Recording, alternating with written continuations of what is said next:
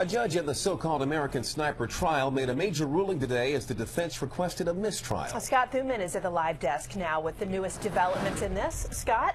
Allison Leon, the judge is denying that request. So the trial of the former Marine Eddie Routh will go on. It was because prosecutors said that glass vials suggesting drug use were found in Routh's home. It turned out they'd actually been left there by crime lab workers. Now, the judge refused to call a mistrial and instead told jurors to ignore that earlier information. Meanwhile, the jury is likely still trying to digest all of this, seeing Routh's taped confession to police immediately after his arrest, saying he killed Chris Kyle, the subject of the movie American Sniper, and friend Chad Littlefield, both veterans who took him to the shooting range that day in hopes of helping him cope with post-military problems. The defense says that he was at least insane at the time and uses lines like this from his confession. I knew if he didn't take out his soul, he was coming to take mine. I'm just tired of playing chess with my life.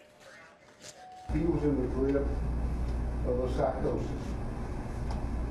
A psychosis so severe at that point in time that he did not know what he was doing was wrong.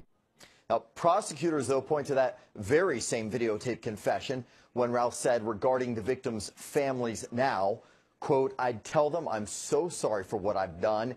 If I could have done it differently, I'd done it a whole lot differently. They say that indicates he was aware of his actions and therefore sane at the time and should be convicted. Now, prosecutors could finish their side of the case today, handing it over to defense. The jury has three options here uh, when it does finally wrap up this case. Guilty, not guilty, or guilty by insanity. At worst, it would be life in prison for him uh, with no parole since prosecutors are not seeking the death penalty. Uh, clearly another dramatic day in this trial. Leon.